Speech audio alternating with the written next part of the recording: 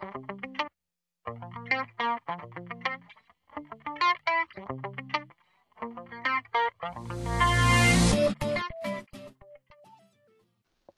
guys, what's up? Today I have a new tutorial for you. That tutorial today is going to show you how to record StarCraft gameplay using one of my favorite softwares, WeGame. Now, WeGame is a free site, free software that you can download off of WeGame.com, and you use it to record your games, basically. Now, these are the only games I have as of now. Just kind of sad. I only have Fate and StarCraft 2. But you can record Minecraft with this as well. So when you download it, you just want to open it, create an account. Go and here's just one of my videos. So you want to go into settings and just choose what your record hotkey will be. Sound recording. Unfortunately, you can't record your voice with this, but you can record game sound.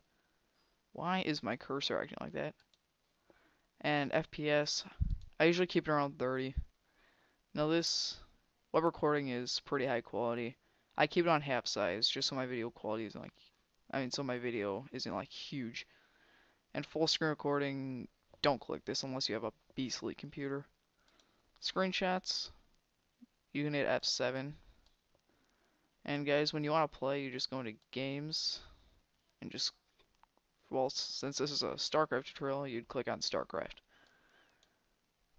Now guys, WeGame can be better than Fraps over here. This is Fraps. Fraps is not free. And one of the problems with Fraps is it makes the videos freaking huge. I mean, my last StarCraft video was 30 minutes.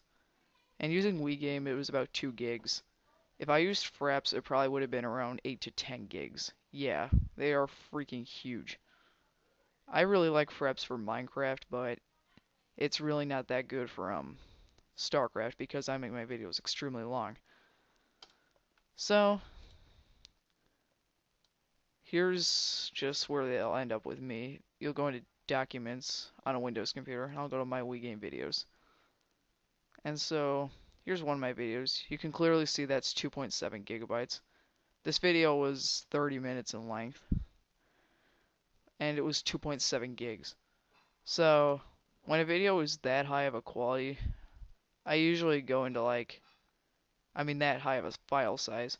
I go into like Camtasia or something, import the file, and then re-render it. It's a lot easier than having to upload a 2 gigabyte video to YouTube, which is their maximum file size YouTube allows. So guys, you can either use Fraps if you want really good quality, but a huge file, or you could use WeGame and get a smaller file but a little bit less quality but it's easier for YouTube and stuff. So guys, thank you for watching this tutorial. I hope it helps you when you want to make StarCraft or Minecraft videos. And thank you for watching. Alright, boys. Let's show the locals they don't need to fear the Dominion.